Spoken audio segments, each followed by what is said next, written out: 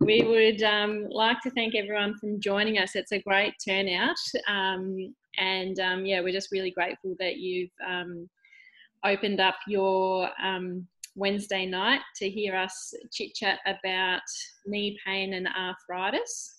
Um, and hopefully, we'll be able to give you some really good content and some tangible takeaways that you can implement, run it through your filter, and um, and see obviously how you can implement some changes to improve your knee pain and possibly your quality of life. Um, so yeah, so obviously we're running live on Facebook as well. Um, and if you do have questions pop up, by all means put it in the chat box and um, we'll go to there. Um, but we will have also a question and answer session um, at the end. Um, but we want to make it as interactive as possible so you all can get as much information and um, implementation after this session as well. So, um, and by all means, uh, if you've got follow on questions, um, myself and James and Tracy are always um, available to talk further about um, whatever you have, whatever further questions. So, I guess without further ado, we should probably introduce ourselves. so, for those that don't know me, my name's Amy. I'm a um, the principal physiotherapist at Perform Physio and Pilates. Um, and um, I'd like to introduce and um, uh, thank James and Tracy for coming along. So we have um, Dr. James Taylor and Dr. Tracy Shang from the Australian Sports Doctors. They've got a clinic in Heidelberg. Um, and um, and yeah, so what we wanted to do is create a medium where we could chat to people about um, whatever you know musculoskeletal or sporting injury they may have. Obviously, in today's climate, um, our accessibility to surgery has reduced, and off and also accessibility possibly to us in some regards. Some people are socially distancing and self isolating and not wanting to go out and visit physio or visit the doctors. Obviously, we've got telehealth um, as well, but um, it's just an extra way that we can get out in the community and um, talk to you all about anything that may be a problem at the moment. Um, so, yeah, so what um, we're obviously talking about is knee arthritis, and um, I'm going to shoot it over to James and Tracy to have a chat about that. So, I'm just going to pull up our um, our screen, which as it would be, of course, um, my, uh, I've lost my uh, slides. So what we'll do is James and Tracy, if you just guys want to We'll do some filler while you resurrect the slides. How's that? Exactly. Sounds like a good plan, guys. Good stuff. Go for it, Trace. No worries. Um, so arthritis is um, it's very common. So um, we all know someone who's got arthritis, or we're all developing arthritic symptoms ourselves, I think. Um, and unfortunately, um, the Australian National Survey um, in 2018 they they did, did a survey, and, and we know that 9.8% um, of Australians have arthritis, and knee arthritis is one of the most common. Um, and unfortunately, this number seems to be increasing because um, we are an aging population, which is good because we're living longer. Um, but unfortunately, we're also seem to be getting heavier as well. So obesity is increasing, and um, for this reason, the number of people with arthritis is going to go up. I think the thing with arthritis is that it definitely, um, you know, can be a bit of a burden on our lives. So it, it affects people's mobility and their ability to exercise. Um, but it does a bit more than that. It has economic impacts too, because obviously sometimes it means you, you can't work or, or occasionally you have to retire from a labour job earlier, or you have to take some days off where you can't care for people or, or kids. Um, and it also has a, a economic burden on, on, on the healthcare system. Um, so the, at the end stage of arthritis, people need joint replacements, and this is very expensive sort of surgery. Um, but taking into account, um, you know, the amount of money that people might spend on treatment, um, exercise, appointments, scans, um, it can be quite uh, burdensome. So I guess the point of tonight's webinar is we, the message that we want to convey is arthritis is not inevitable, even though it is common, and there's plenty you can do to sort of manage it and slow the progression of the disease as well. So really want to um, put across some positive messages um, and there's actually a lot you can do for yourself. Um, now we've got our slides back up, we might just start, we've got quite a few different attendees tonight, so people from the community, we've also got some practitioners as well. Um, so just for the interests of um, having everyone on the same page, we might just start with some basic anatomy, which will only be sort of, you know, one minute. So we might just move to the next slide, and if that's okay. Yep. Thank you. And this is just a very basic picture of knees. So the knees um uh, one of the largest hinge joints in the body. So it's like a Pac-Man, I guess, um, in the way it moves. Um, so it's comprised of you know, the, femur, which is your thigh bone up the top, and then you've got your shin bone, which is the tibia at the bottom. Um, and uh, the patella, which is um, the round sort of bone or the kneecap, sits at front at the front of the knee, um, and this is held in place by some tendons. So the quadriceps tendon, so we can see on the left, um, holds attaches to the top of the kneecap, and then you've got the patella tendon um, underneath, and that kneecap glides um, in a groove, um, and the groove's called the trochlear groove. there are a few ligaments that stabilize the knee, so the main ones um, on the sides are called the collaterals, and this just stops the knee from um, translating or rocking sideways. And then you've got the cruciates. Um, so we hear a lot about ACL injuries in footy and on the news, um, but the cruciate or the cross ligaments um, that are deep inside the middle of the knee, um, they just stabilize the knee and try and stop the shin bone from sliding forward and from the knee from rotating as well. Um, so the cartilage is uh, uh, what lines um, the ends of the bone um, and, and, basically gives some cushioning and some shock absorption to the joint as it moves. And there's different types of cartilage. You've got the articular cartilage that covers the ends of the bones, and then you've got the meniscus, um, which is the C-shaped or disc-shaped um, cartilage in between the joint as well. Um, James, are you happy to talk a, little bit about what, what arthritis is and what some of the symptoms that we commonly might experience? Yeah, sure. Thanks, Trace. Um, arthritis is a condition whereby there's a degenerative change in the quality of the hard hyaline white shiny cartilage that you see in the knee uh, at arthroscopy and that you'd see if you're pulling chicken apart. If you pull a chicken apart you see the white shining glistening cartilage uh, in the joint, uh, that's the uh, shiny articular sort of load bearing cartilage. It does have some sponginess to it, but it's relatively firm. The sponginess there is just to soak up a little bit of the synovial uh, lubricating fluid. Um, that gristle sort of element that's in those joints as well is sort of a, a part of the sort of shock absorber mechanism. And I guess that uh, meniscus cartilage, the C-shaped cartilages or kidney bean shaped cartilages that uh, Tracy mentioned before, they're more to do with uh, increasing the surface area of the joint uh, and, and, also providing an extra element of sponginess and springiness because that's a little bit more spongy than the uh, hard, shiny, articular cartilage. So the type of cartilage damage in the knee, there can be two types. There's obviously the soft, spongy meniscus that can be torn.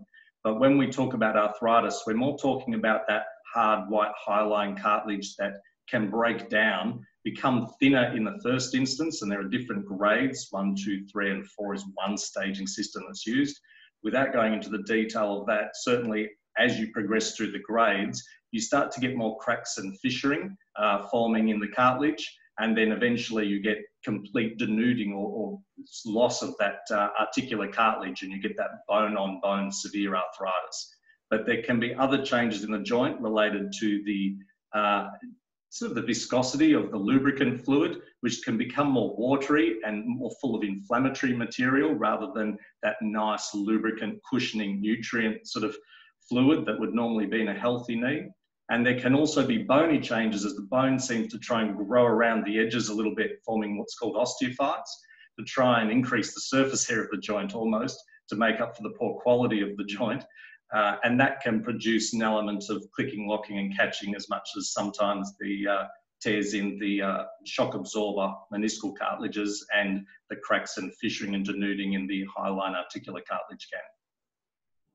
Now, symptoms wise, as it sounds, as it seems from that description, the greater the number of craters or the greater the uh, space that's occupied by the denuded area, the more pain generally is transmitted through not only from the cartilage loss itself, but more the actual bone starts to get bony swelling and edema in it behind. You can see that on MRI scans, and the bone certainly gets thicker and more sclerotic on x rays. Uh, the bone pain itself can be uh, quite problematic for some people. The effusion fluid, that sort of inflammatory fluid uh, that replaces the normal synovial fluid, uh, tends to swell the knee up so that the knee becomes more stiff, a bit harder to bend uh, and to some extent a bit harder to straighten, uh, and particularly difficult for people when they have that. It's almost like a dry wet phenomenon in the knee where the articular cartilage has lost its ability to soak up the good lubricant fluid, so it's dry, but there's lots of watery, angry fluid in the knee, and that causes the knee to swell so they can't bend it. So they've got this stiff, sore knee, I kind of describe that as being like when you've got uh, dry, irritable eyes and they're watering a lot, but the tear film won't stick to the eye and provide any lubrication and won't moisturize and protect the eye. And that's kind of what it's like inside the knee, too. It's like an irritable, itchy red eye. Now, the problem with that is it changes the gait cycle. And so then you start to get more of a limp and antalgic gait pattern forming, and you tend to get weakness and pain inhibition coming in. And as Tracy described the anatomy before, the quadriceps muscles, and in particular the vastus medialis obliquus, if that becomes weaker through that pain inhibition, then you start to develop more issues around patella kneecap tracking, and then you get more changes in the biomechanics of the knee joint and, and further pain that can develop from that. You can also then get other issues with uh, hip abduction weakness and perhaps even changes in the way the ankle and the foot function all from knee arthritis. So add to that the uh, emotional, psychological elements and the kinesiophobia that can develop with knee arthritis. Then you can have uh, significant issues with regard to mobility and quality of life. Um, as well as aging, some of the other things that might increase your risk of progressing or developing arthritis is unfortunately it seems a little bit more common in slightly more common in females than males. Um, the other thing is if you've had um, significant joint trauma so any accidents or injuries to the knee um, and also if you've um, done a lot of repetitive loading so we might see arthritis in people who have um, you know done a lot of sport earlier in uh, earlier at a younger age um, or if they're doing um, jobs which require a lot of manual labor or heavy lifting.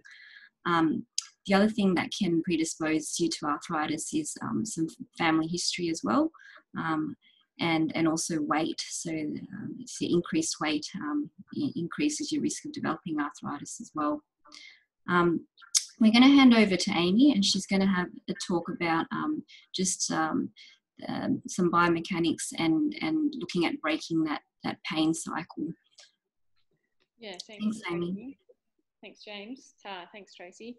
Yeah, so obviously, all of the anatomy and understanding what happens from a joint level, it sounds quite problematic and it sounds obviously very painful, which it, it can be.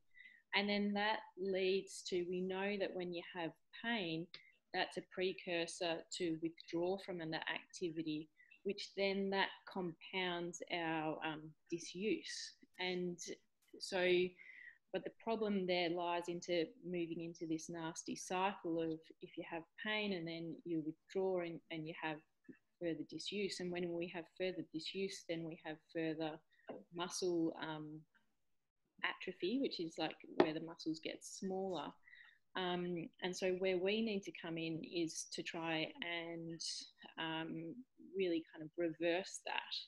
So, and the thing that's on our side is that we're really adaptive as um, as the human body is. And I've got this lovely little MRI here where um, you can see in the top that is actually a 74 um, year old um, sedentary man, and I've got this little pointer here, and you can see here that's the that's the femur bone, like that's the really big bone of your thigh, um, and that's obviously quite small in this gentleman. And then this darker black areas are um, the muscles, um, and then all the tissue around that's um, that's adipose tissue, fat tissue. So you can see that um, this guy's um, muscles aren't doing a great job or they're not very strong because obviously they're not very big. But we can then compare this to the one below where it's a 70 year old triathlete and you can see the differences. We've got a bigger, thicker bone here that's obviously healthier and stronger. And then all of the whole thigh compartment is full of muscle. So the reason why I'm, I'm showing this is that even though like so if you give the stimulus of strengthening and exercise and obviously this guy's on the bike and running and riding um, and um, swimming his his muscles are adapting to that stimulus. Whereas at the moment this guy here he's sedentary. So he is you know maybe walking to the mailbox and he's um, sitting on the couch and going to bed and pottering around the garden um, and so that's where it's our job to try and, um, you know, put in the implementation and the um, the stimulus to make sure that your legs are looking more like the bottom blokes down here. Um, because as we were talking, the pain cycle is um, where if we've got you know pain because of arthritis or anything it, it's the same with any sort of um, problem is that um, we have pain we withdraw from the activity and then um, that in turn will decrease our capacity to um, perform the task at hand and so then what will happen is that if we've got a mismatch in our body's capacity to perform a task and the demand of the task being higher, then we're going to have pain and dysfunction. So, you know, that's why physios give you homework all the time and give you exercises, is because we're trying to increase your capacity to be higher than the demand of whatever you're asking that to be. And if we're talking about an arthritic knee, it might be that we need to try and increase your capacity so that you can walk up and down stairs without pain.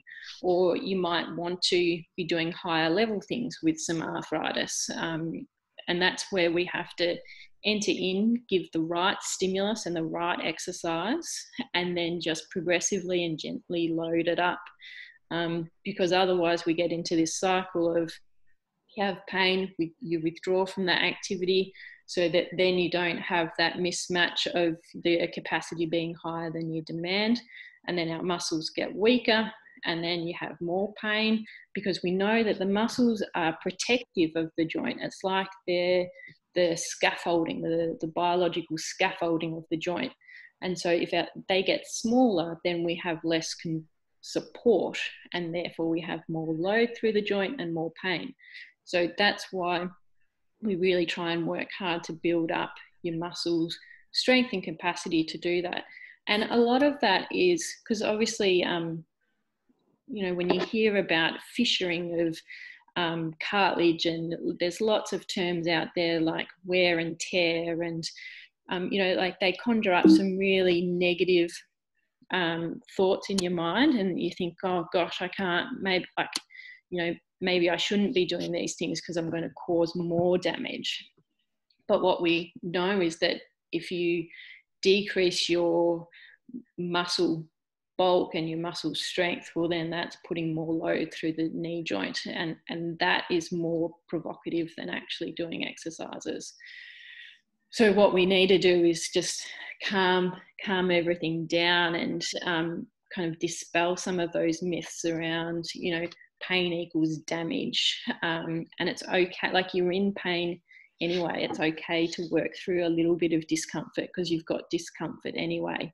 What we need to do is work out what exercises we can do that is within comfort or some discomfort, but know that we're not going to escalate it and know that we're not going to escalate the pain the next day after. So it's just about, you know, really giving that um, reassurance that it's okay to move, it's okay to load the joint, um, and all of these things. Because if we've got some fear and we've got muscle weakness and we've got joint changes and you're not sleeping because of the pain and you're a bit anxious, like we're kind of sitting at the, you know, that our cup is right on the um, right on the brim. And so what we need to do is if we're able to dispel some of those myths and give you some confidence to move and increase your strength, we give you a bigger cup. And so then you've got a greater capacity to be able to um, to do more. Um, so so that's where we're moving towards in in the conservative physiotherapy space. Um, and so what we do obviously is you know when someone comes in with a pretty cranky um, painful knee, the last thing they want to be doing is exercise. So, you know, we've got techniques up our sleeve where we're able to calm pain down, do a little bit of gentle um, hands on treatment, get you moving, get some confidence and get some wins on the board. And that gives you the confidence that it's okay to move. And, and we might need to withdraw you from activity for a little while. So if you know, going up and down stairs is provocative, we might need to avoid that for a little while just so that we calm it down because we don't want to go through that pain cycle. So we have to cut that pain cycle down a little bit, increase your confidence with movement.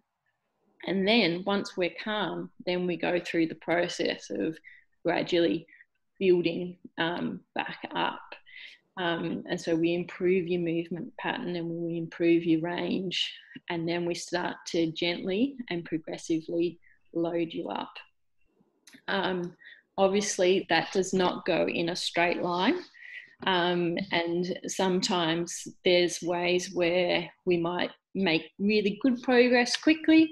Um, and then we might plateau for a little bit.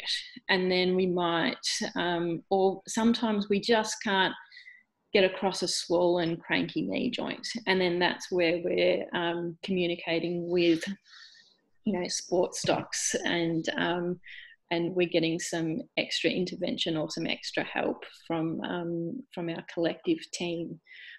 But generally, it's about knowing and trusting the process and, and knowing that it's going to take, you know, any sort of strengthening work if you go to the gym is going to take 12 weeks.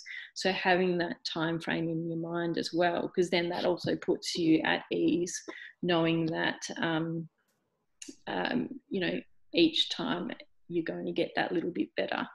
And having that trust in the process because what we do notice is that when we start this you'll get improvements in function, but your pain might be about the same. And then it's not until we go to the next level of strength that pain starts to come down. So, um, so yeah, so that's that. That's kind of the fundamentals of, um, you know, building up your cup in a way.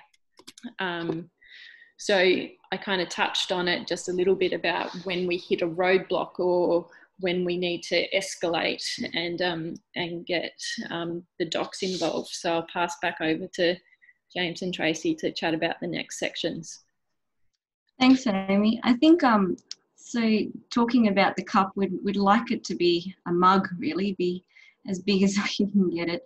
Um, and when we're talking about medical management, um, I mean, when we think of medical management, you think of drugs and interventions and, and needles and surgery.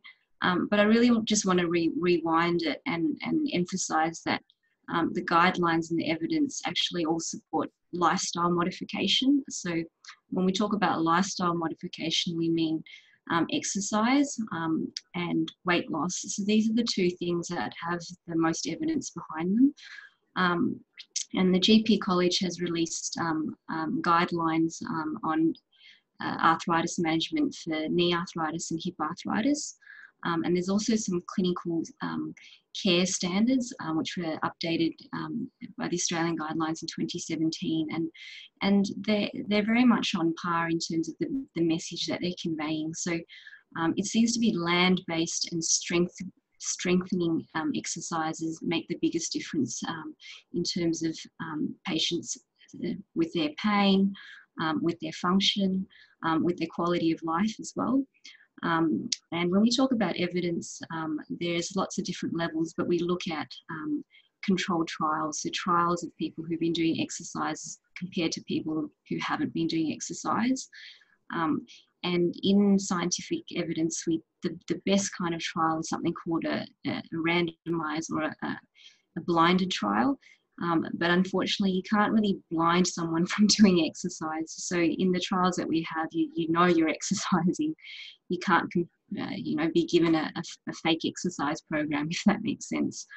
Um, so, um, but the, the improvements with pain um, across the board seem to be, you know, up to so sometimes it's 20%, sometimes it's 70%. Everybody's different, um, but we find um, that uh, it takes a bit of time. So um, most people will notice an improvement with their um, program after two to three months. It's not something that you might notice after one or two weeks. Um, so we've got to really encourage people to be diligent and really stick with the program.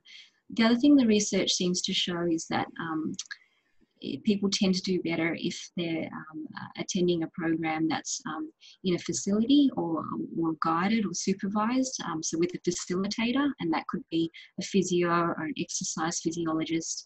Um, and there's lots of theories about why this is, whether it's because the program's more structured, but it's probably actually more to do with accountability and motivation, meaning um, some of us are more motivated than others um, and more determined, you know, than others um, to, to see results. Um, um, but uh, for, for a lot of the part, it's, it's, it's probably a combination of things. Um, weight loss is really important. So we the the knee is interesting in that if you if you're carrying an extra one kilo um, in your body, um, the force or the transmitted force that goes through your knee ends up exponentially being three or four times that amount. Um, so what that means is if you if you lose five kilos, your knee might feel like you've lost 15 or 20 kilos. It's like you're carrying uh, less of a backpack. Um, so that really um, improves the, the forces going through the joint. Um, so um, some of the other things that we talk about with medical management is um, uh, other uh, th things like using heat. Um, so heat tends to help because inflammation is inflammatory.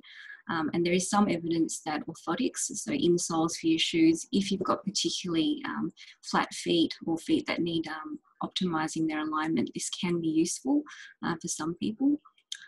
Um, and um, there is uh, some evidence for braces, but bracing is uh, has to be you know you have to discuss this with your specialist or your doctor and, and select um, the right type of brace. Um, in general, it's not something we, we recommend just across the board. I think bracing has some evidence for it in those lateral buttress bracing for uh, anterior knee pain with patella tracking issues and so on, but um, not that much evidence in other areas and in fact can weaken a knee and sort of be counterproductive for the strengthening program that a good physio or a physical therapist is trying to institute. And those forces, that three times multiplier is when you're walking. So every step you take, if you're carrying an extra kilo, is three, three and a half times that amount. And if you take 10,000 steps in a day, that's 10,000 times three and a bit times the extra weight that you have. So if you have 10 extra kilos, it's hundreds of thousands of kilos momentarily on that knee during the course of the day. And if you jump or run, it's 10 times rather than three times. Um, so you do want to keep the knee mobile, uh, and braces uh, have a very limited sort of role in terms of uh, very specific conditions. Um, other medical management things is we talk about um, medication. So these are over-the-counter medications and prescription ones. Um, generally speaking, Panadol or paracetamol is, is the first line choice for, for pain relief. Um, and most people have heard of Panadol Osteos. This is a slightly longer acting type of paracetamol. Um, and generally speaking, it's very safe. So unless you've got um, problems with your liver or um, or any other known conditions where you can't take paracetamol, um, most of the time it's, it's fine to start with that. Um, and you can take six tablets a day. Um, there is some evidence for using anti-inflammatories, but because they can upset your stomach, um, and in older people they can um, cause some trouble with increasing your risk of heart disease or affecting the kidneys. Generally, you want to check with your doctor, and you don't really want to be on anti-inflammatories all the time. You might use them for a short period of time for a flare-up, um, or, or when you or when it's absolutely necessary. Um, James and I, in particular, but in alignment with um, GP guidelines, we don't like to prescribe lots of stronger pain relief or painkillers unless it's appropriate. So you like to move away from medications that have um, side effects that make you sleepy or, or addictive, like opiates. Um, so opiates are things that are related to, to morphine, um, and codeine is the most common one that used to be available over the counter, and now it's on prescription only. Um, there are some specialised medications that can be prescribed for nerve pain, um, but these are not standard um, and is something that you would discuss with your doctor. Um, so that's medications. Um, we can, can also say, Trace, just yeah. on the medications, I, would sort of dispute that that it is a common expectation from patients that opiate medication will be a stronger pain relief. Yes. But all the evidence suggests that it's not stronger for that type of pain. Uh, and you have a dose tolerance relationship. So you need to keep increasing the dose to actually produce the same level of pain relief as time goes on. So it's a, you're robbing Peter to pay Paul with that, whereas Panadol Osteo is a, is a baseline sort of pain relief just to stop the garden getting too out of control with weeds. And then you come in here and there with your whippersnipper, which is the anti-inflammatories, and use that for specific flare-ups as they come along. Uh, is generally the safest way of doing it, and putting the opiates in has more complications and side effects than they're worth, generally speaking. Hmm. I like your garden analogy, James. yeah. Um, supplements, I like talking about supplements because I think um, it's, a, it's a safer space um, and there's some, there's emerging evidence. So um, the, the disclaimer is that um, the GP College doesn't recommend um, most supplements in general, and that's because the evidence is still quite low. Um, having said that, um, generally they're quite safe to try. So when I'm talking about supplements, um, the common ones are fish oil. Um, so fish oil's got omega-3 or some fatty acids in it, and this is something that your body doesn't pr- produce. You have to ingest it. So the only way to obtain fatty acids is to, is to basically eat it. Um, it comes in fish, um, or fish has got the highest um, source of, of, omega 3. Um, and there are different types. There's um, something called EPA, um, and then there's DHA, and these are just types of fatty acids. Um, what they do is they reduce inflammation um, in the body, and they do this a number of ways. Um, they can reduce the, uh, the amount of white blood cells um, that are produced and attracted to um, sites that have injury. Um, they also affect the cells in those particular sites as well. So, the cells in the knee, for example, so that they're not um, they don't produce as many um, inflammatory cells, but it also means that they don't respond to some of these um, cells and proteins as well. Um, and it affects um, the levels of those proteins. And those inflammatory proteins are called cytokines. Um, so these we can see inside the joint fluid, because James mentioned earlier that the fluid in the joint, the quality of that fluid changes. Um, so it becomes less viscous. Um, and it becomes um, more uh, higher concentration of inflammation in there. So you can get um, uh, fatty acids from um, flaxseed oil. You can get it from um, walnuts, but it's uh, highly concentrated in fish.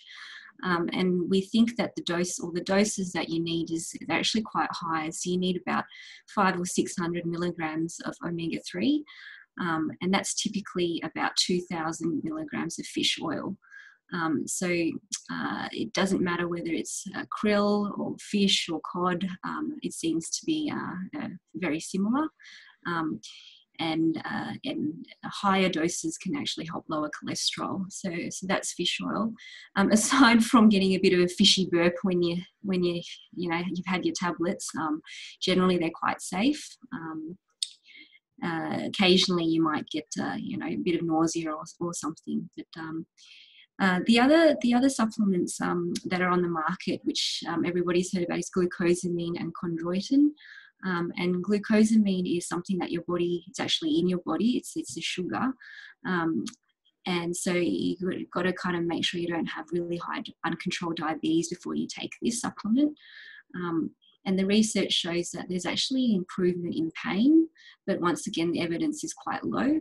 And there has been some uh, research to demonstrate that maybe it might slow down the progression of cartilage. It doesn't help you grow cartilage, so it can't reverse it, um, but perhaps um, it might delay you being able to, you know, uh, put off surgery a little bit longer.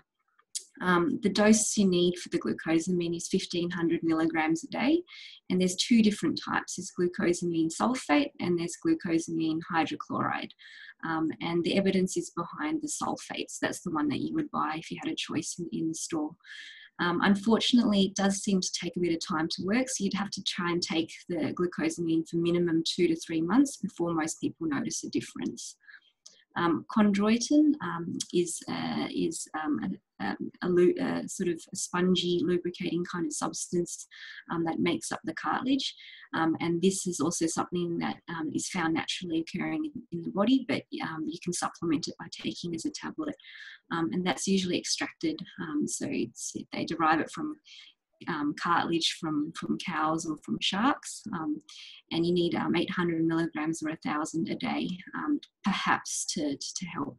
Once again, the evidence is low, so it's something you definitely could give it a go and then make a decision after three or six months whether you want to continue. Is there anything you wanted to add about the supplements, James? And turmeric's yeah. the other one. Yeah, I was going to say turmeric. Yeah, I think out of those, uh, glucosamine and chondroitin have been the ones that have probably been the ones that have the staying power. They've been around the longest. Um, I've not had a single patient that I know take them that says, "I'm so glad I took this. It means that I don't need to have knee surgery.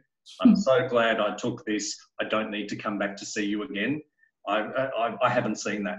So, and the evidence there, the, the, the quality of evidence was actually pretty poor, I think, in terms of numbers and success rates. Yeah, I don't, I don't think they're that great. But again, they're suggested in the literature as something that's it's like PRP and those other treatments that we'll talk about later. If there's not too much harm to it and there's not much benefit, is it worth trying? Mm. And I guess that's where a lot of people fall with the supplements that unless you're allergic to shellfish, uh, for the things that come from shark cartilage, or from some of the ones that come from shellfish cartilage, sorry, um, then you're um, probably okay to try it. It's just that it might not work very well, and there's a strong placebo element in a lot of those uh, medications. Correct. Yeah. Which I'm not knocking because if that helps people, that's good.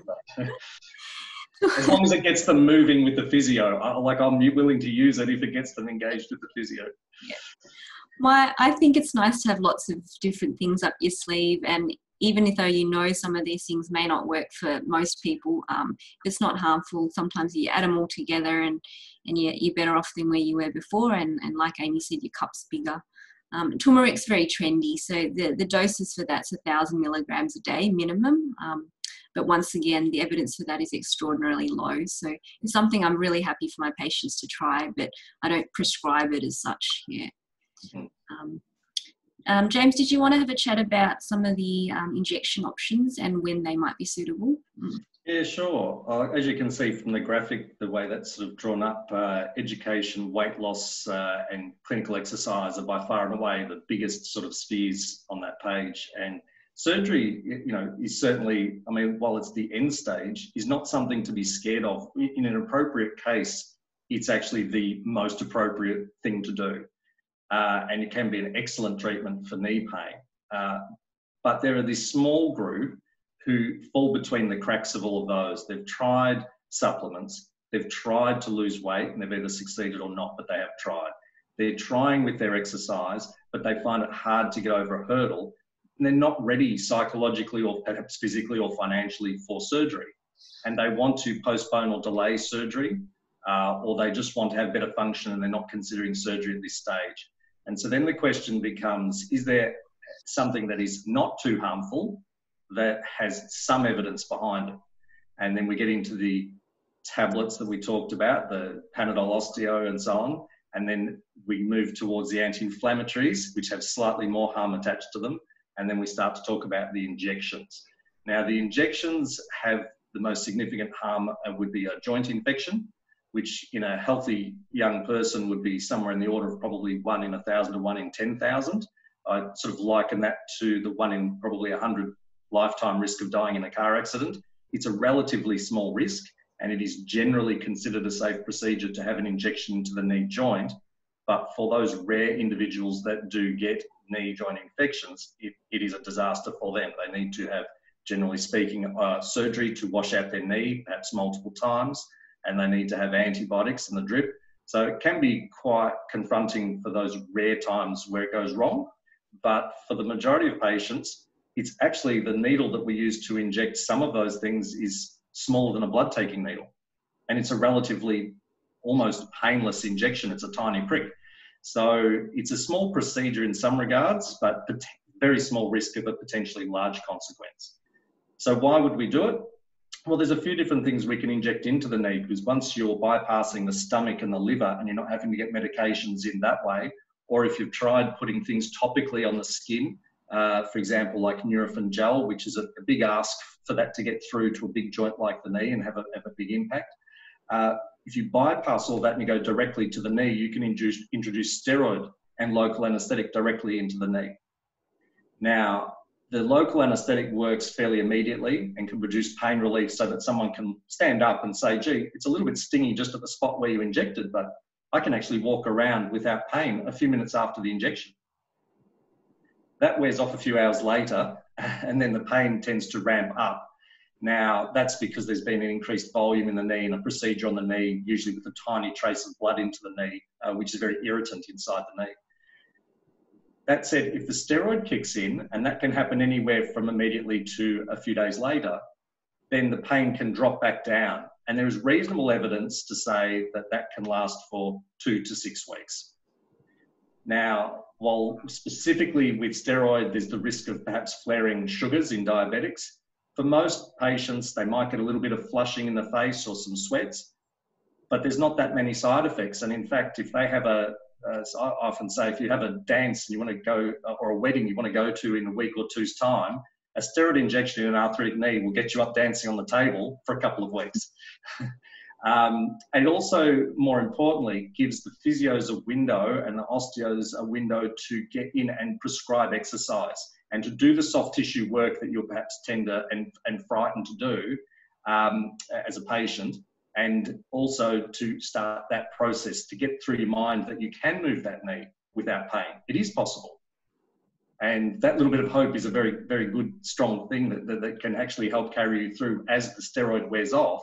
The lubricant in the knee starts to spread around a little bit more evenly. That dry cartilage starts to regain some of its sponginess the knee mechanics, the biomechanics start to fix themselves as you start to progress through that.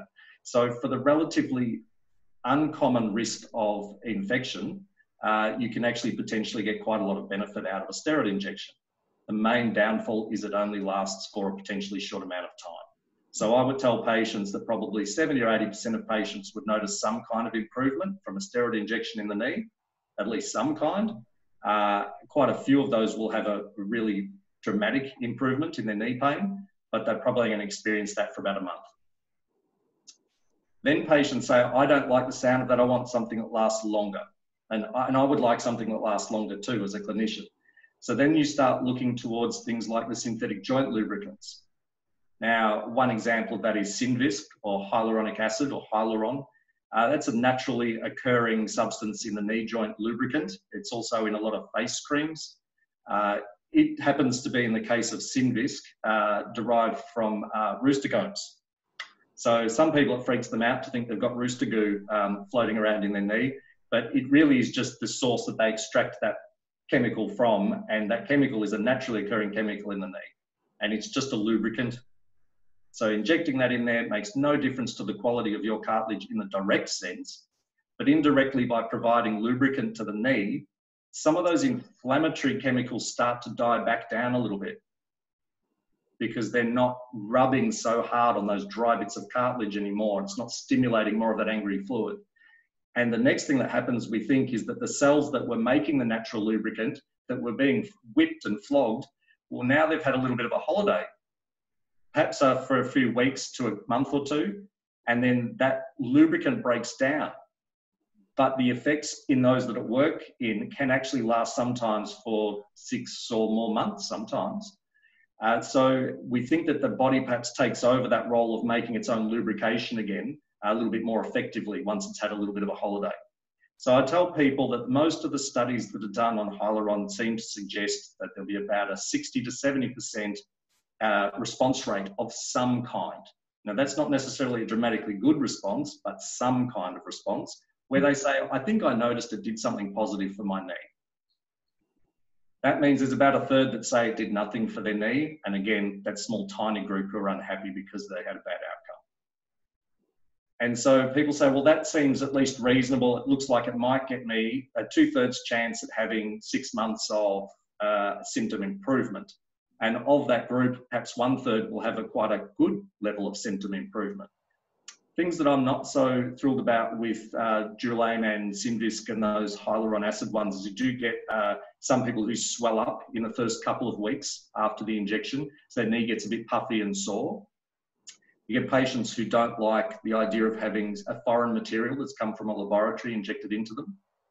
Uh, you have occasionally, rarely, people who are allergic to chicken feathers and eggs, and uh, depending on the degree of their allergy, might not be suitable for something that's uh, derived from uh, chicken, such as uh, from rooster combs, such as uh, Synvisc. But generally speaking, one to two thirds of patients with some sort of outcome that they're happy with, and one third that are not for six months, maybe. Then people say, is there anything that's better than that? And I'll say, well, there's not anything's better, but there is something different. Uh, you can look at PRP, which is platelet-rich plasma. Uh, that is taken from a blood test. You take, you extract blood from, say, the arm. You put it into a specialized syringe and into a centrifuge, and you spin the blood.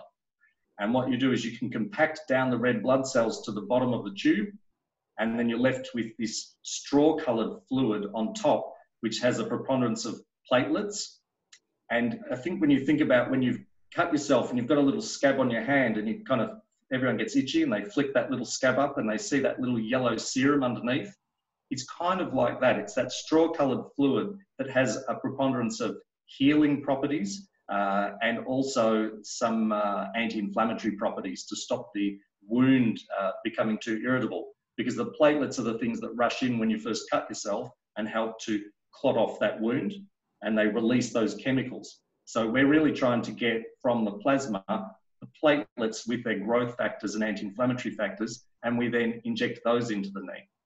So the same techniques are involved for all of them except Synvisc and Durolane are a bit thicker, more viscous, whereas uh, PRP or platelet-rich plasma or autologous conditioned plasma, a number of different names that uh, people use for it, is a bit thinner and a bit runnier.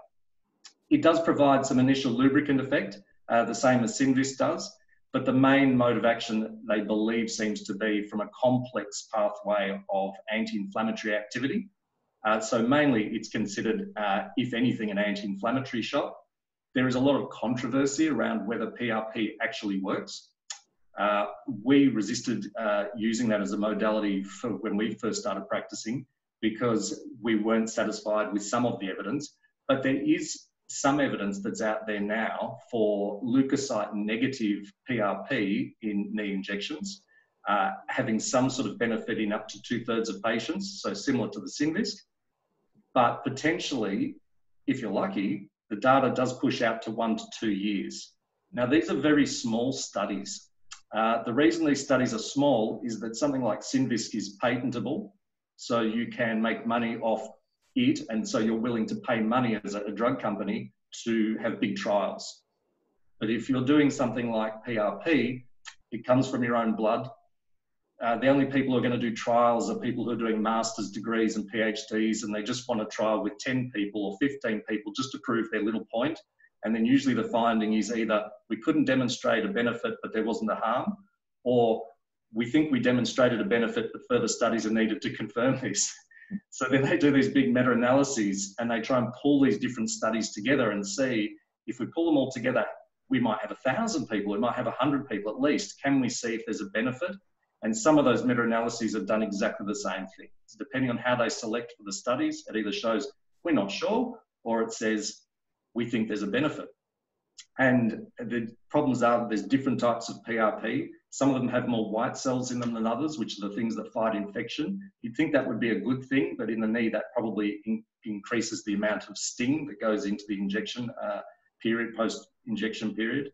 Uh, that said, it's mainly an anti-inflammatory shot. Two thirds of patients that anecdotally that I see and that uh, some of the key studies we've looked at have shown will get some sort of benefit and potentially data out to one to two years that they will get a benefit. The catch, it's more expensive of an injection process. So steroid injections probably only cost the fee to inject it. The actual steroid is relatively cheap. Uh, so different places under ultrasound guidance will probably charge around about $100 to inject that. It's roughly similar to what we probably charge in our clinic, uh, just by landmark guided injection. Whereas if you're going to do a Synvisc type injection, just to buy that from the chemist, I think you've got to pay about $600 to buy it. Uh, it used to be about $480 uh, a year or so ago, and then the government said you had to have a script for it, and the pharmacist tagged their uh, their markup on it, so it's skyrocketed up to 600. If you allow, say, $100 for that to be injected, then that becomes a $700 injection ballpark figure. PRP, generally speaking, around town, the cheapest places will be doing it for close to $300. Um, that's because the collection kits and the centrifuge are quite expensive. Centrifuges can be anywhere up to 10 plus thousand dollars, and the collection kits uh, can be a 100 plus dollars each. So uh, by the time they add all the consumables together, that would probably take up at least half of the cost of the PRP. So I think um, PRP is a more expensive process because it also has to be done three times. Now, I say it has to be done three times. Uh, one PRP can sometimes reduce knee pain, but it might not have a particularly lasting result. And two injections shores that up to some degree. Three injections uh, is the process that we use because that was the study that was done based on the collection kits and centrifuge that we use. Uh, and we follow exactly the same cookbook formula that Arthrex, the big surgical supplier who gave it to us, used in their studies. And we said, well, if it worked for you guys, we're just going to copy it. so there's not a whole lot of science behind exactly how to space out the injections and when to do them. Uh, most of the studies seem to do them about a week or two apart if they're going to do them. Um, we do one injection a week apart times three, so three weeks course is finished. Um, it's for people who don't want to have a foreign material injected into them. They like the idea that it's come from their own body. They accept that there is a controversy in the evidence base and there is the potential to do some harm with that injection, but it is broadly considered a safe technique because it is the same technique effectively as injecting a steroid or Synvisc. Uh, and that they want something that has the potential on some studies to last longer than Synvisc, or perhaps they've tried Synvisc before and it didn't work. So it's a reasonable extra modality in there, uh, and it's something that uh, a minority of patients it would be suitable for, but there are certainly patients who've had that who are super happy. It can also just, uh, for the sake of completeness, be injected into certain tendons, and there's varying degrees of evidence depending on which tendons. Some have no evidence, uh, and some have some, ev some evidence for benefit. The lucky last type of injection is uh, stem cells. Now, stem cells are about $10,000 plus potentially for a knee in Melbourne. Uh, it's very expensive. Uh, it has no greater evidence at this stage than PRP. So it's automatically something that's out of uh, consideration for most patients. Have you got anything to add about that one, Trace? No, I'm very. Um, I I think with PRP, um, I don't have. We haven't had many patients who have felt that they've had no benefit from it whatsoever. So, having said that, it seems to work better in people who've got moderate arthritis and mild to moderate. Um, obviously, by the time you've got very severe arthritis, so grade four, um, um, uh, Synvisc and PRP are, less likely to work. Um, but having said that, if you have got grade four arthritis, you might be a good candidate for surgery, um, which I think we will discuss next. Mm. Yeah. Well, surgery is obviously, uh, like I said, it's something that people want to try and put off, and there's two groups I see that come in that talk to me about surgery. And the first group are those that come in and say, I have had some pain in my knee for three weeks. I think I need to have a knee replacement. And they walk in and they look, they're smiling at me, and, and I say, I'm not sure that you do, but let's let's run through this and let's work out what, what your logic is and why you think that. And then there's the other group who come in and say, oh my God, I don't want to have knee surgery. And I'm begging them to have knee surgery because I know how much better their life's going to be. They're putting it off for too long and they're starting to lose function and they're starting to get problems with their hips and they're starting to get problems with their back and their quality of life has deteriorated. They're missing out on things in life that they could enjoy if they had successful surgery. Now, knee surgery, uh, there's different types of surgery on the knee. Obviously, there's the telescope type surgery, and that is not what we're talking about here. That's more for where there's little tears in uh, the cartilage that they're going in to either trim back or fix. And in the early stages of arthritis, sometimes it will be appropriate to have arthroscopic surgery to trim back uh, loose bits of cartilage that are actual or, or floppy bits of cartilage that are catching and causing mechanical clicking feelings in the knee that feel uncomfortable for people.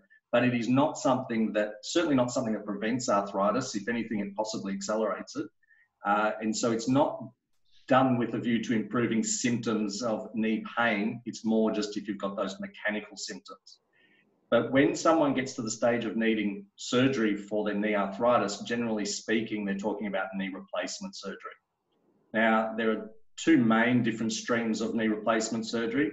There are partial knee replacements or hemi knee replacements, which means half of the joint. They're uh, suitable in a minority of patients who have single compartment uh, knee arthritis. So, for example, if they only have arthritis on the inner aspect of the knee and not the outer aspect of the knee, and not behind the kneecap, because they're the three main compartments. If they've only got it in one, then they might be suitable to have that half replaced. The satisfaction surveys from patients for that tend to rate at above 80%, and it helps to, uh, you can preserve the uh, anterior cruciate ligament during that surgery. Uh, that has the advantage that the knee, not only is it a hinge joint that moves backwards and forwards, but it has some rotational component to it as well.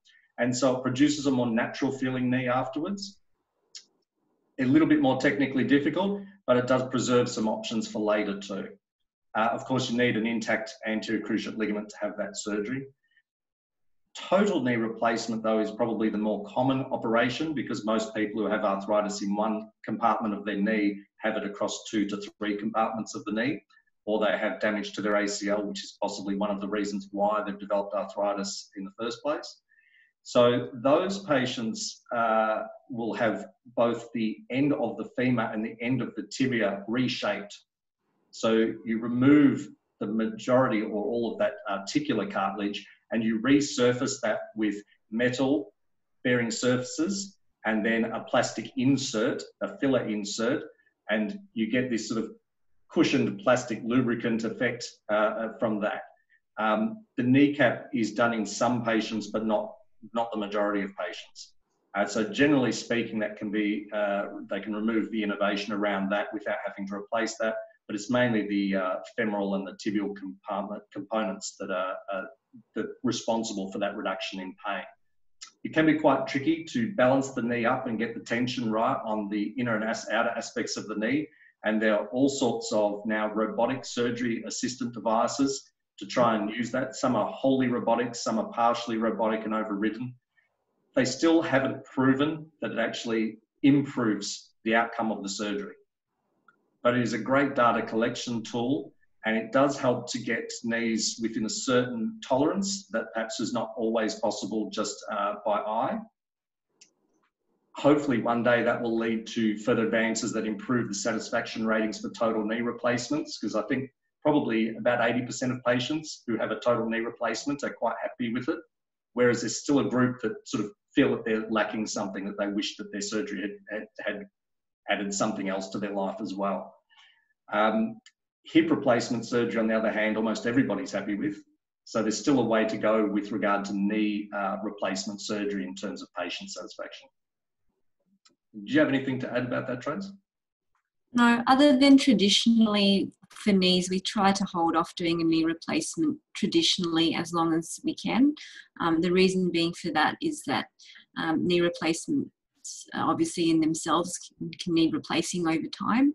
Yeah. Um, either the bone around it um, or the, the, the actual, um, you know, um, replacement itself um, wears out, um, so to speak, um, which is why we try to put off um, having a total knee replacement till you're 50, 55, 60, 65 if we can help it. Um, yeah, I think that uh, it's certainly true that a hip replacement can last 40 years. Um, plus potentially the newer prostheses. They still don't know because they've just put them in in the last 10 years and they don't, they don't know how long they're going to last, but they, they keep getting better every 10 years. They find that they, the, the prostheses from 10, 20, 30 years ago are getting better and better. Uh, knee replacements in a young overweight patient, say in their 40s, uh, who's 30, 40 kilos overweight, they're probably going to wear that out if they're active. They're going to wear that out within potentially 10 years. So they're the ones that sometimes we target for that PRP just to try and buy them even six or 12 months because that's six or 12 months at the start. If they, if the PRP works, and that's the big question, if it works, that might translate to three, four, five years at the end after their replacement that they, before they have to revisit it. If you can just postpone it an extra 12 months, they'll be that much less active in 10, 20 years time that they won't wear it out as fast at that end of their knee replacement, if, if that makes sense to everybody. And so we definitely tried to slow those ones down, but again, not at the expense of their gait pattern and the strength in their muscles. If they've been trying all these other things with the physiotherapist, they've been trying all of their analgesics and they're not winning, then there's no shame in, and there's no harm, sorry, no, no shame in saying, I need surgery to get the mechanics in my knee restored so that I can preserve the rest of my chain. And if that means a revision has to happen, that's, that's what has to happen. But it's certainly um, the patients that we generally see for knee replacement, they're 60 years old. They're generally very happy with the result of their surgery. And most of them would comment to me afterwards, I wish I hadn't waited this long. I'm glad that they did, but but they wish they hadn't. So that's, that's probably very true, Trace. We do try and put them off, but there's a certain point where it's appropriate to just go ahead. Definitely. And I think that people then ask, when is that point? And I think that that's, uh, it's not a decision that necessarily a patient should make in isolation, and it's not a decision that their surgeon or their physio or their sports doctor should make for them. It's, it's a teamwork approach to that. You need the input from the physios to know if they've actually optimized. You need the input from the patient to tell you how they're coping. You need to know how they're sleeping. You need to know the impact of it on their life and you need the input from the surgeon to know what's technically possible with the prosthesis and with their knee anatomy and what sort of they can what sort of outcome they might expect what range of outcomes. So generally speaking if someone is not sleeping at night they've got a lot of rest pain. It's affecting their gait pattern and they have a loss of enjoyment in life or loss of activities and it's not correcting with the uh, clinical exercise education weight loss attempts uh, they've had their biomechanics looked at, everything from podiatry to uh, their knee alignment, and just if they've considered whether they've tried the oral medications plus or minus the injection options, then it's time.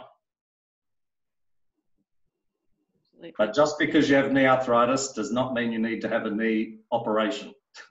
that is that is actually the minority of patients that need to have that done.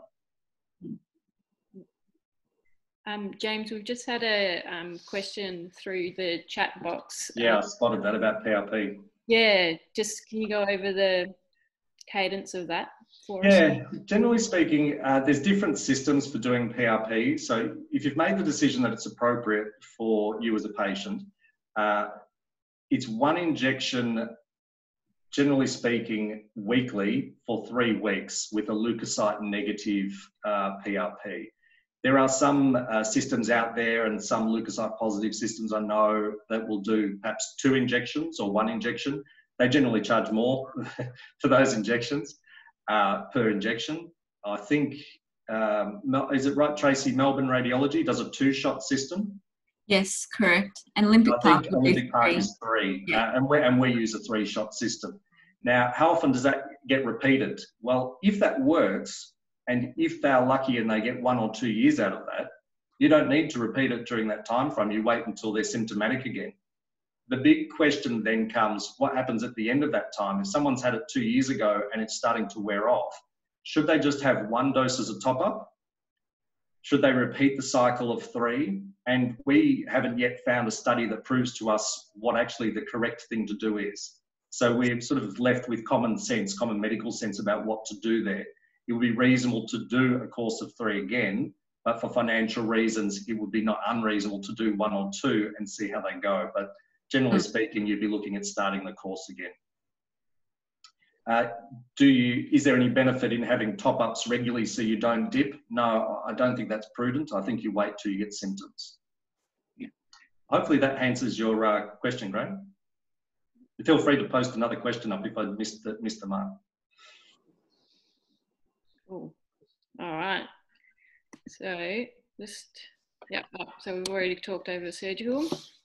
So yeah, so obviously we've talked about um, arthritis being a um, you know a continuum. So obviously there's mild, moderate, and severe, and then there's different um, interventions at each and every level.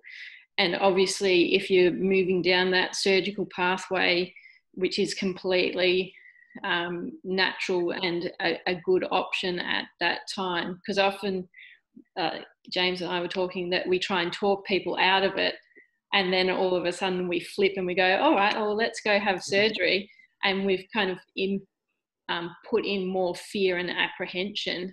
Um, so it's definitely it's got its place and it has good outcomes and it improves function and it improves pain when you're at that point but we also want to get you as strong as possible before surgery because we know that the stronger you are going into it then your better recovery um, and your quicker recovery is going to be because you're going to have more you know muscle bulk which will be that scaffolding of the knee. Um, and so that's where you know when we get hit with some arthritis and it's really acutely sore and it's swollen you kind of go, how on earth am I going to get this knee to quieten down and not be so sore? And that's where, like, we can use different tools. Like, we've obviously talked about a lot of different modalities here. And it isn't one size fits all by any stretch of the imagination. And sometimes it's bringing in a few different um, strategies along the way and getting the input of your trusted medical advisors but definitely, you know, working out, you know, you've got a sore knee, but what else within that chain isn't sore? And we can build up that and build up your capacity and kind of sneak up behind the knee and, and build it up strong. So, you know, there's nothing wrong with yeah, your glutes and your hip muscles or your calf muscles. And often by getting some load coming through then, it, through those muscles, then we're able to get a little bit of capacity up. Like, and they're good shock absorbers of the um, of the whole leg when you're taking step by step. So then we're able to go from there. So strategies are around building up other muscles. Obviously, weight loss is a massive strategy. Having really good education, that's a really massive thing to have within your toolbox of um, strategies on how to manage your knee pain. And then we can go, well, what is your threshold? And let's work below that for a little while and gently build it up. So, you know, if you're having trouble doing um, standing up off your couch because it's quite low, well, let's train you hopping up from your dining chair, which is a little bit higher. Or if you're still getting pain from that, well, let's try the bar stool. And then you can get strong with that height and that range, build up your muscle bulk, and then um, and then you can go down to your dining chair and then you can go down to your couch and, and build up those strategies. So it's about kind of identifying where your level is and kind of entering just maybe a touch below it so that we don't flare things up. And then just gradually, like brick by brick, just building upon that. And obviously, um, you know, monitoring your weight and monitoring your activity. A lot of the times, and again, knowing that it's like we talk about it as a continuum, but it, it is not a straight line because as your function improves, it means that then you do more. Mm. So you will um, feel a little bit better. So then spend a weekend in the garden and then call us up on Monday saying my knee is really sore. And like, but you know, sometimes I'll go, well, you know what, that's a good thing because three weeks ago you would have never have contemplated getting out in the garden. But it's understanding that you will have setbacks. Um, the knee will go um, a bit hot for a while, but then you know we know how to calm things down. And so, in terms of from a biomechanical perspective, like I talked about, like focusing on glutes, so you know we know that you know from a biomechanical standpoint, if you're weak through the outside part of your glutes, your knees more likely to rotate inwards. Um, and the same from if um, you're really, really flat footed, you're going to have more of that um, internal collapse through the knee, which will load the knee joint that little bit more. So, can we get you strong through the outer glutes to compensate and to rotate that knee outwards to offload that joint? And then that's a strategy that we don't even have to move the knee to be able to get the glutes firing up and, and getting that working a little bit better. You know, and then the other thing is that we talk about physio or conservative management. Sometimes we hit a bit of a threshold because you know we just give sit to stands or we give TheraBand exercises. And when you think about life, um, we need, and if you think about going back to what James was talking about, the amount of load that goes through the knee, we actually have to put a fair bit of load in through, like, get you up to the level to accepting and getting the tissue to tolerate a fair bit of load because as soon as you go upstairs or downstairs, then that's more load um, through the knee. If you're going to pick up a grandchild that's 20 kilos, well, then us physios, we have to get you being able to squat 20 kilos. And it's highly possible. Like I've got lots of patients where, you know, they've come not being able to go upstairs anymore, but now they're able to squat 80 kilos. And you might think that that is a bit crazy, but if you just do it step by step, you make um, remarkable gains when all of the ducks are in a row. And um, and yeah, and we find that then each little step you get that little bit more motivated, that little bit more um, relaxed and, and not so movement phobic. Um, and um, and yeah, so I think having that understanding that it's okay to strengthen and it's okay to work in a little bit of discomfort as long as you're not spiking with pain then that's okay and that also pain doesn't mean that you're damaging the knee further as well so that's another really important piece of um, education to have in the back of your head as well um, so Amy, yeah, can I ask you a leading question? Go for it. What percentage of patients that come in with a really sore knee have really weak hip abductors and external rotators in the glutes from you, in your experience? Because I know mine is high, so I'm just. yes, um, I probably couldn't think of one that doesn't. Yeah. Yeah, definitely. It's a big, um, a big rock in the jar for sure. Um, and also um, hip extensor muscles. I think we tend to, you know, glute max we sit a lot all day and we don't necessarily extend our hip much. Um, and so, you know, our glute max muscle is one of the biggest, mu- well, yeah, one of the biggest muscles in the body. And a really good shock absorber for ground reaction forces. Mm. Um, so, yeah, strengthening up all the hip musculature is huge. And yeah, you can definitely like yeah. There's not one that I wouldn't do some um, um, external rotation and abduction work with. That's for sure. Yeah, because I get some patients that come in and what they've had from their physical therapist is uh, a series of stretches. Yeah. Uh, they've had soft tissue work done, massage, maybe dry needling. Yeah. And they've maybe had one or two exercise, what I would term active exercises. Yeah. And I think this was something we discussed off camera is the bugbear of both of ours is that there's just not enough, uh, they're not hitting enough muscle groups and they're not, certainly not progressing them to the point where there's enough load. And it does take time and some knowledge and some skill of, of getting them to that point. But, you know, there's, there's, I shouldn't say there's failed rehab, but all, all rehab is good because at the worst case scenario, it's some sort of prehab.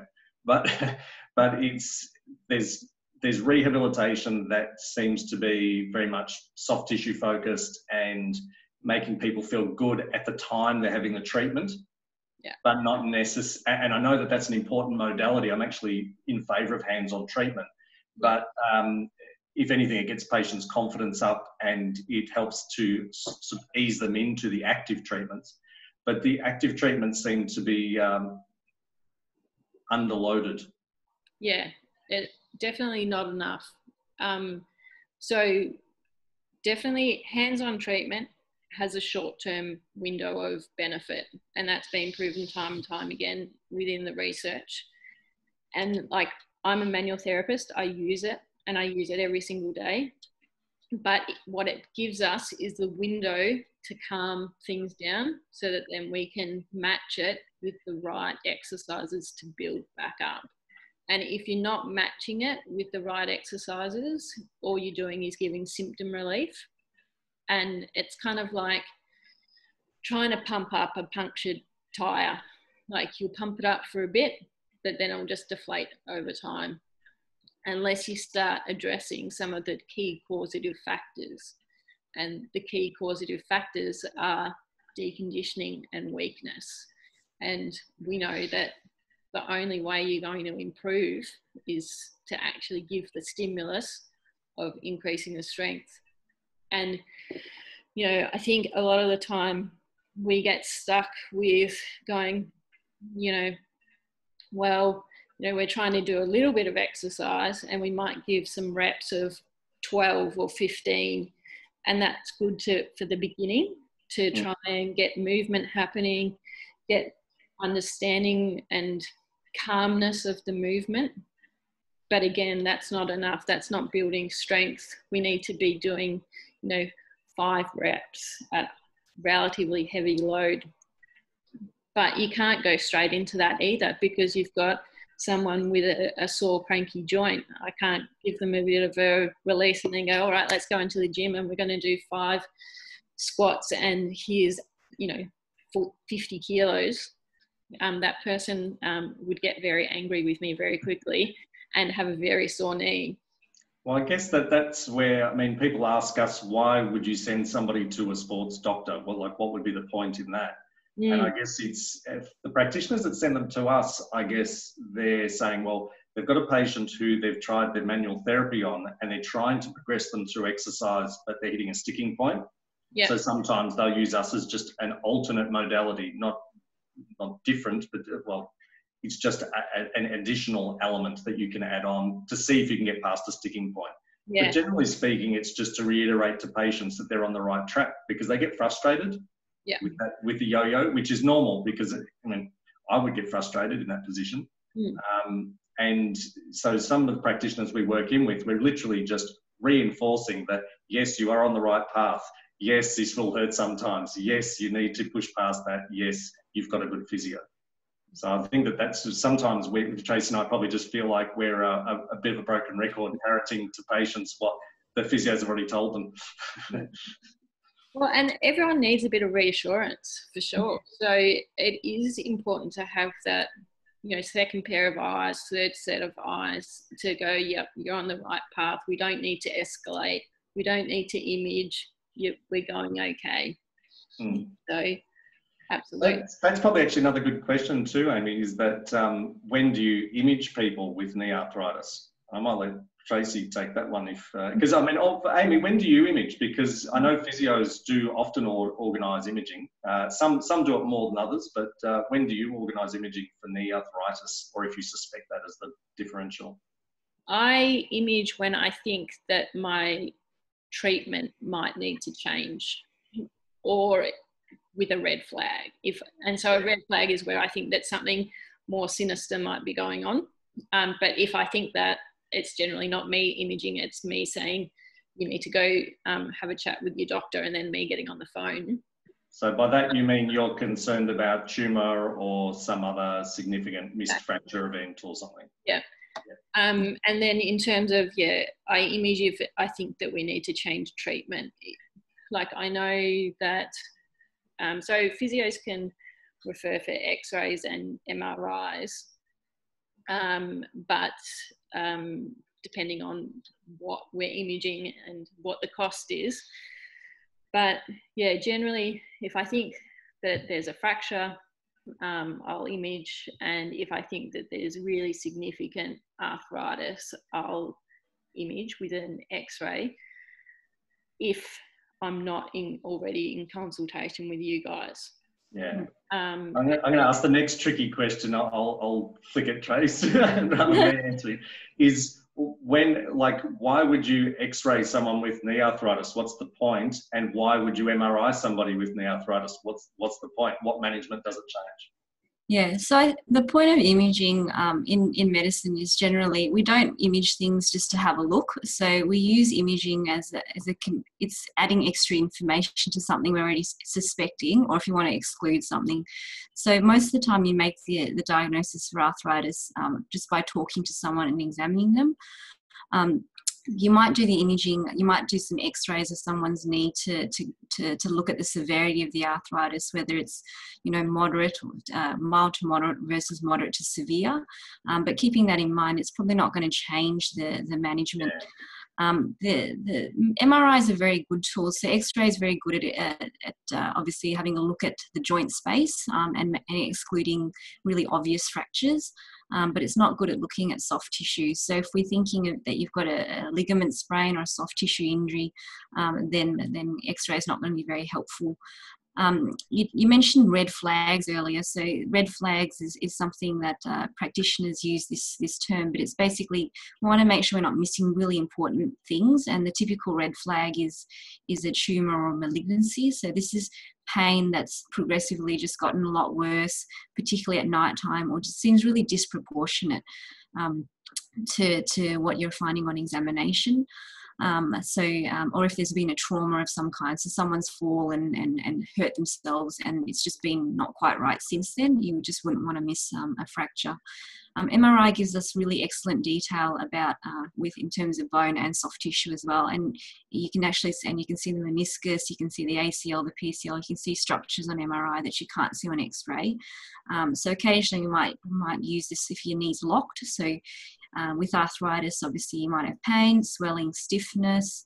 Um, some you get grinding noises, um, um, clicking. But if it's actually locked, so you're actually stuck, like you can't fully straighten your knee, um, um, or you can't really bend it very far, then occasionally you might actually have a bit of meniscus, a bit of cartilage that's just flapped back on itself or stuck on itself. And James mentioned earlier about this mechanical locking, so it's actually structurally locked um, as opposed to it's pain that's stopping you. It's actually uh, mechanically locked like, like, the lego lego pieces are sort of you know stuck together. Um, so in that case um, doing an mri might be very useful to have a look at that. Um, and in, in those circumstances sometimes a keyhole surgery arthroscopy might be useful just to shave that little bit of cartilage back. Once again that doesn't fix the arthritis but it might just release your knee and actually let you move through that range of movement um, so that's that's when I would use um, imaging. But um, I do find a lot of patients come in and they seem sometimes they're surprised um, that you know we uh, James and I don't always ask for an MRI um, for, for, arthritis of the knee, um, and that's because it wouldn't change. Meaning we're going to get you moving, going to get your pain levels down, get build up your confidence, get you stronger, um, get your everything aligned in terms of how you move with your back and your hip and your knee and, and your feet, um, and and um, work together to set some different goals. So we want to make sure, that, you know, sometimes your goal might be I want to have no pain, and we've got to sit down and say, look, that actually might be, you know, a little bit unrealistic in the short term. We might actually have to look at some different goals. Okay, what do you need to be able to do? Let's see if we can get you back to doing some of those things. Because um, some people's goals are, I want to be like I was when I was, you know, 25 years of age and, and I have to sit down and say, look, um, we're going to have to change the, the goalposts here. But, but I do agree with you. I want your pain levels down. I want you stronger, moving better as well. So, so in terms of imaging, I guess there's that, uh, the go- I mean, I tend to diagnose and treat more based on that goal setting and, and what examination and history gives me. Um, X-ray, like Amy, I would do if there's if I'm looking for red flags or pre-surgical staging. uh, you don't necessarily need to do it to confirm the diagnosis. Some patients, it's required for their mindset to do it. I understand that, and so sometimes it can be useful then. But I, I don't need it for my mindset unless there's a red flag. And MRI probably only if there's locking or I'm suspicious of some soft tissue issue that might be uh, amenable to a surgical intervention. Otherwise, I should be able to diagnose most of those things clinically, I would have thought. And so a lot of people sort of get quite bound up, patients, I mean, they get quite bound up in the idea that they need x rays or MRI scans, but it's actually the minority of people that need it unless they're planning surgery. Mm. And surgery, then it's for working out angles and things. It's not really just to look at how bad it is. You can actually have quite symptomatic knee arthritis that radiologically only looks like a moderate, and you can have quite severe looking knee arthritis on an x ray that somebody's still walking up and down the stairs fine. hmm. It's, you know, it's not always a direct correlation. It's tricky. Sure. Good stuff. So I think we might just um, hand it over to anyone that may have any further questions. Um, so by all means, type it into your your chat at chat box, and we can answer away. Um, and um, yeah, so and then other than that, if people want to um, chat, um, type away. Obviously, um, we've covered a lot of content tonight, um, but it's all been extremely um, broad. So if um, anyone has any questions about um, their own personal um, condition, um, by all means send us a message um, via our emails and um, we can organise a time to, to have a chat and to be a little bit more specific to um, individuals. Um, I think yeah, we're all doing the joy of telehealth at the moment, in addition to the uh, in-clinic consultations. So if anyone's worried about COVID, you're very welcome to uh, contact us, and we'll do the video link up. absolutely, definitely. And for things like knee OA, um, you know, telehealth works perfectly well. Mhm. So that's good. It's All right. surprising how much you can get out of uh, history over telehealth. Uh, examination is a little bit limited, but you can get some idea from uh, telehealth on that too. And then that way, if you do need to come into the clinic to see uh, Amy or to see us, it minimises the amount of time you have to be in the clinic with other patients and uh, so on. Yeah. So it can be quite useful. Yeah, yeah, absolutely. Um, yeah, it's, um, definitely. It's pretty um, interesting doing telehealth and doing um, assessments and um, looking for knee um, movements or shoulder movements. But yeah, definitely we get the most from obviously um, asking the question and then correlating to whatever um, range or test we want to do Mm. yeah, that's good. All right, it looks like um, we're pretty much sorted. I think a few people have just saying um, that it's all good and thank you. And um, yeah, that's all um, all fantastic. So by all means, take our emails down. Get in touch if you have any questions. Um, but really, we're just really grateful that you um, gave up your Wednesday night and um, and yeah, didn't watch MasterChef and watched us instead. Um, probably not quite as Well, watched us make a meal of it. There you go. Oh, entertaining. Good work, James. oh, yeah, Tracy will kick me for that later. Gotta bring, we've got to bring more spice next time. Yeah, here we go. Now the now the dad jokes are coming out. oh, that's a perfect time to wind up and um, Yeah, it is. finish, I reckon. So, all right. So, thank you, everyone. So, I will um, stop on Facebook and we'll um, we'll end the session. So, thank you very much. Thank you, Amy. Thank no. you, Amy. Thanks, guys. We'll catch Bye. up.